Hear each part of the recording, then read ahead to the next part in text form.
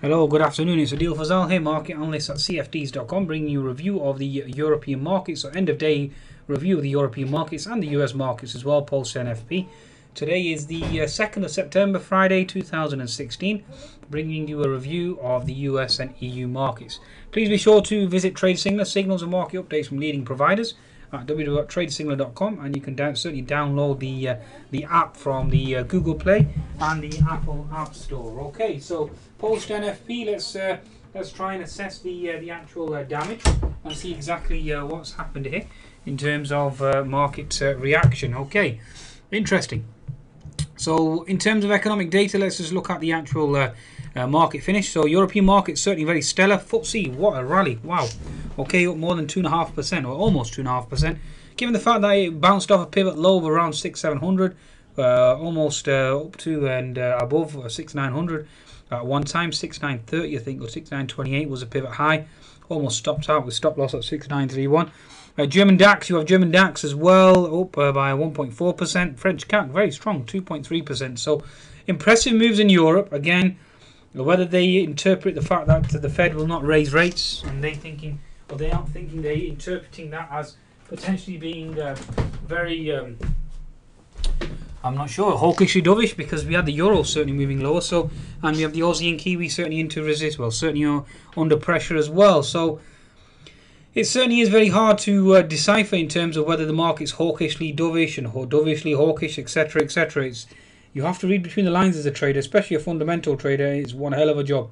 I'm telling you now, it certainly is one hell of a job. This week so far, I think I've navigated almost 90 points, but again, I have to confess, it is one hell of a challenge trying to navigate these markets from a fundamental perspective. Okay, so again, very, very hard to navigate. That's all I can say. Very, very hard, especially in the FX in market and the indices market together. Okay, in terms of the uh, the actual um, economic data now. Let's go through the uh, the chain of events, okay, in terms of today, and let's try and paint a fundamental picture for you. So we started off the day in the morning. In terms of the Asian markets overnight, we had uh, the uh, Shanghai flat, okay, we had the Hang Seng up 0.4, and the Nikkei more or less flat as well, okay, everybody waiting for this uh, potential number. Okay, USD JPY approaching 104. Uh, you have the euro uh, was around 1.2. Aussie Kiwi certainly were down overnight, given the fact that USD JPY approaching that 104 level. Okay. In terms of data. Hmm, okay, interesting. Okay, let's start with data. Okay, so Italian GDP, okay, came in slightly better than expected. Okay, UK PMI construction data came out stronger than expected, but was negated uh, by um, a bearish um, uh, news flow from McCarthy and Stone. Potential profit warning, not profit warning, but yes, certainly a profit warning. But again, for forecasting the industry's demise going forward. Okay, European uh, PPI data certainly came in more or less in line. Okay. Uh, then obviously we focused on the NFP data. Now let's look at the NFP data. Average hourly earnings month on month weaker than expected. Okay, unemployment rate slightly increased, 4.9 percent. Okay, average weekly, average hourly earnings 2.4%, slightly on the weaker side. Average hourly uh, weekly hours slightly on the weaker side. Non-farm payrolls came in at 151, estimate it was around 180. Okay, so again came on slightly weaker side. Trade balance as well came actually came in on the stronger side. Okay, in terms of Canada as well, given the fact that Canada obviously has an influence. Okay, exports certainly stronger than expected. Okay, overall net net economic data from Canada on the stronger side. Okay. In terms of ISM, certainly on the weaker side. Factory orders, weaker side, okay. And uh, towards the close, we did actually get Mr. Lackas talking, and he said that the uh, economic data was sufficient enough for a potential rate hike, okay. And also Baker Hughes rig count certainly came in stronger, uh, more rigs, okay, and therefore, again, will exert further pressure on oil. Oil prices have failed to really ignite a rally post the NFP, post comments with regards to Mr. Putin, uh, mentioning that there may well be a potential output freeze uh, agreement, even though he did negate the fact that Iran will be on board. Okay, so again, they want Iran out the equation. That certainly that didn't really go down well with the Saudis last time, and I can't see that going down well again in the future, especially with the war that's raging on in Syria. Okay, now Let's look at the technical picture first of all. Okay, so let's look at the technical uh, picture now that we've actually explained the uh, fundamentals. Okay, so daily chart. Uh, now, before I go into European equities, it's important I look at the euro chart because in reality, European equities are just a reflection of the euro. Okay, that's basically all it is. It's, it's moving inverse to the euro USD. So allow me to bring up the chart, the Euro USD. Here we go. Okay, so daily chart, the Euro USD. You had a pivot low 1.12. Okay, um, 1.11 if I can correct 1.1120 okay we bounced up to 1.1250 and then obviously we sold off now if I bring up the 60 minute chart give you a better understanding we've hit a pivot high here at 1.1250 okay? We've come back in previous resistance now equals support okay? Looking to potentially bounce here. Now with Mr. Lacker's comments I've been slightly cautious in terms of obviously forecasting this potential bounce. But it certainly seems that uh, any hawkish uh, rhetoric certainly is factored in here I was expecting a potential sell-off down to the 1.120 level again. We're holding the 160 level and looking to potentially bounce from here. Okay, in terms of uh, the euro, given the fact that we're into support now on the euro, you're looking for European indices to certainly flush and start their leg lower. So that's all that basically matters. Now we've had a higher 1.1250. If I go to the German DAX, let's look at the German DAX. Let's look at the 10 minute chart to give you a better understanding here.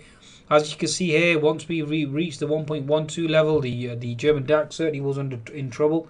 As soon as the euro reversed and started moving to the downside, you can see the German DAX ignited. It was like a fire that lit underneath the German DAX.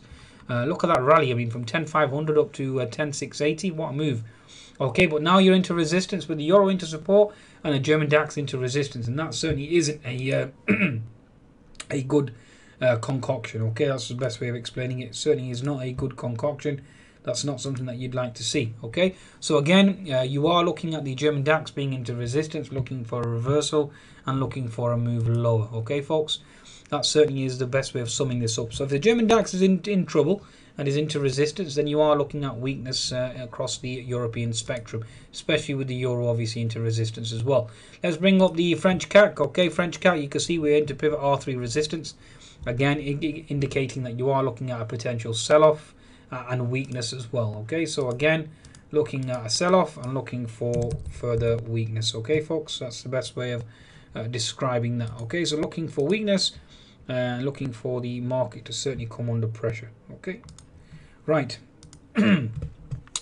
So French CAC certainly into pivot R3 resistance. Again looking for weakness. 60 minute chart certainly very bullish very very impressive and the daily chart, you clearly see we're into horizontal resistance now. You've actually closed the gap, folks, as well at 4450 odd uh, around that region.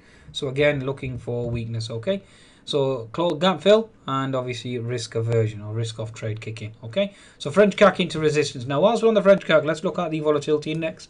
The volatility index I find very interesting always. Okay, so the French CAC volatility index. If I go to the uh, volatility here, uh, I mean the trend lines certainly are skewed now. Let me just get this corrected. Okay, so you certainly have on the weekly chart uh, an area of uh, potential support. Okay, on the weekly chart. So the VIX certainly into support on the weekly, with the euro obviously into support as well. So again, looking for risk aversion. Okay. Uh, in terms of the euro Stoxx as well, volatility. Whilst we're here, let's see if we have this here. Unfortunately, we don't. So we'll ignore that for now. Okay, let's move on to the FTSE 100 now. Okay, so FTSE 100, looking at the weekly chart first of all, let's see exactly where we stand back into that horizontal resistance okay on the weekly chart. Looking at the daily chart the FTSE 100 again realistically is this your potential HNS top? Okay given the fact that we've had stronger data as of late it certainly negates the fact and also given the fact that we've had a sterling rally. Uh, what's interesting today is that uh, weaker oil and st stronger sterling certainly failed to keep the FTSE 100 at bay.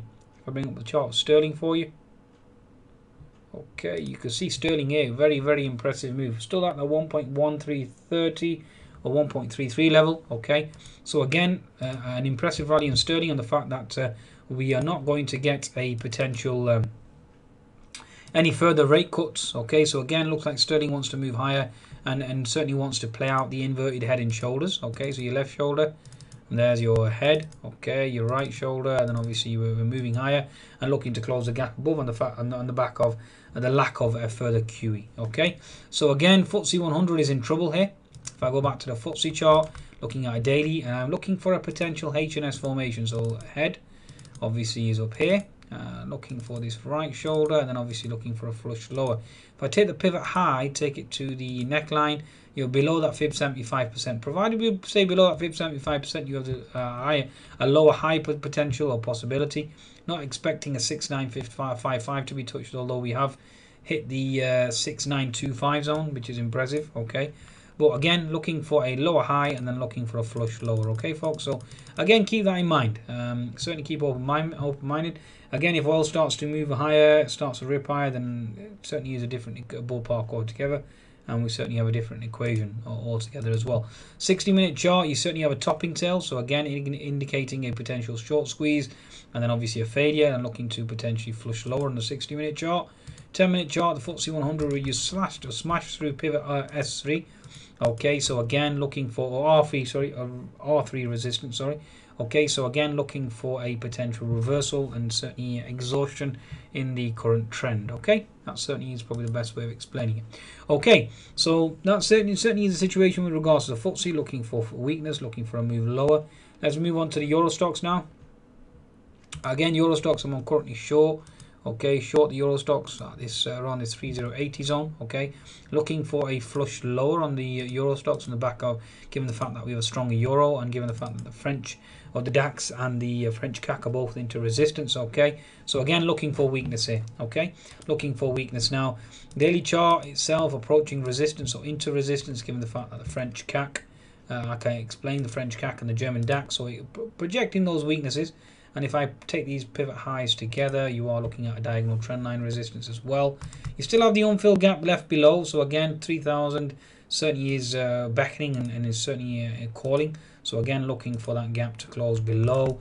Uh, any unfilled gaps certainly are not healthy going forward. So again, looking to target that gap at 3000. Looking to potentially retest 3055, the previous resistance zone. So again, watch out for that uh, level at 3055 uh, looking to test that support and obviously support down here at 3057 so again looking for that zone to be tested okay on the French CAC so again it's all about the euro being into potential support okay looking for weakness there in the back of uh, of the euro into support as well. Looking at the VSTOXX uh, this is the VSTOXX Euro Stoxx again VIX uh, again into support so again looking for uh, a potential bounce here okay and also the French uh, French uh, uh, French volatility of index as well into potential support. You have um, uh, horizontal support here. Okay, so again looking for a potential bounce, not far from gap fill uh, as well, gap fill support. So again looking for weakness, looking for bearish price action here. Okay, so in terms of oil, let's bring up the price of oil. Okay, so again oil certainly has bounced, but again short-lived bounce into previous support equals resistance. So again, looking for weakness here on the chart of oil, even though the rhetoric from Mr. Putin certainly hasn't helped either, okay? Okay, folks, US dollar index as well. Let's bring the dollar index for you. Again, dollar index certainly hasn't, um, uh, oh, I mean, again, it's a reaction. So the dollar index certainly hasn't flushed, okay? Certainly has bounced, uh, and dollar buying certainly has ensued, okay? Uh, 200 MA certainly has held, okay? So again, bias from my perspective would be considered to be bullish and you are looking for higher prices here okay? So looking for higher prices on the dollar index it certainly seems especially with Mr. Lacker's comments as well certainly a hawkish rhetoric uh, oil commodities etc all certainly uh, remain weak. Uh, and again looking for a sell-off. So from my understanding my perspective certainly looking for weakness uh, on the equity specifically okay? Equities certainly are into uh, overbought territory and remain weak and looking for weaker prices. Okay, on that note, uh, wish you all a good weekend. Be sure to visit cfds.com for your trading needs and take advantage of that 25 bonus, 25% bonus. Also visit Trade Signal and uh, you can certainly uh, download the uh, latest app from the Google Play and the Apple App Store. Good weekend to all.